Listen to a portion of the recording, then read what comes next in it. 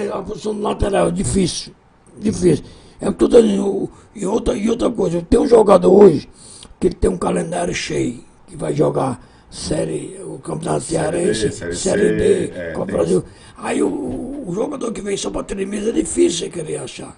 É verdade. Mas eu, não, eu vou, vou, ver se eu localizar alguém, vou indicá-lo, entendeu?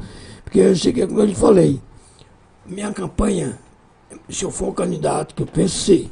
Vai voltar para política, Kleber Lavô? Olha as novidades chegando aqui. O, o povo está pedindo. Aí quando o povo pede, tem que atender. Tem que atender. Já está quanto tempo que você está fora da política? Está um tempinho, já está mais de 10 anos. Foi já, né? eleito, né? não, foi na época de Santana que eu saí. Fui eleito, não assumi, entendeu? E para minha campanha é o esporte. Acho que foi 2010, se eu não me engano. Pois é, a minha campanha é o esporte. Logicamente, muito muito, muito. Você foi quantas vezes presidente da Câmara? Foi, Fui duas. Duas vezes presidente Fui, da Câmara. Unanimidade. Na época unanimidade. Do, do Raimundão, né? Do Raimundão e de Mauro Sampaio. Fui eleito. Unanimidade na época, viu?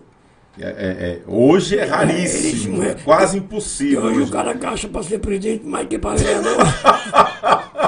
E graças a Deus não. Graças a Deus. Então o Kleber Lavô é pré-candidato a vereador pré Já está com algum partido? Já? já não, porque eu estou conversando com o Salviano, estive lá hoje, sou candidato. Salviano quer que eu seja candidato, quer que o vereador, Salviano quer ter um vereador. Eu disse até para ele hoje. Só sou candidato se o carro subir, porque o carro subir você tem que ajudar. Estive lá hoje, entendeu?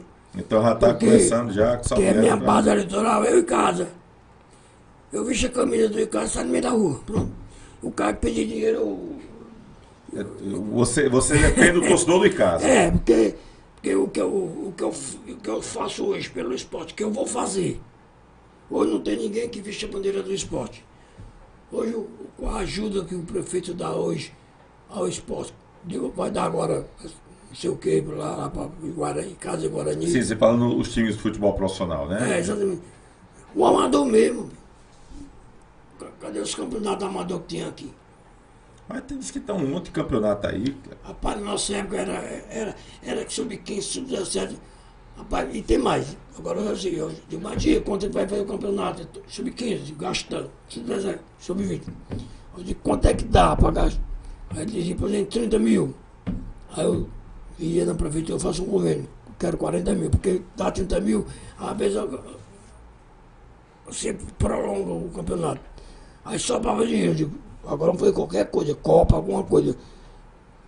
Entendeu? Mas você não acha que burocraticamente antes era mais simples de ter dinheiro do poder público? Hoje o negócio não está meio engessado, Cleber? Pai, não é engessado. O problema é o seguinte, porque na época era a mesma coisa. O problema é que as pessoas esperam dinheiro, dinheiro público e não investem dentro daquele que ele pede.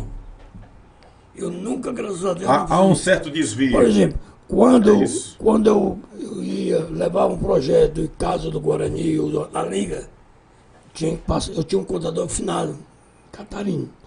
Aí o Matias mandava a conta, eu digo, Catarina, confere essas contas aí. Só ia para a prefeitura pagar outra parcela, por exemplo. Eu, eu, eu não queria tudo de uma vez.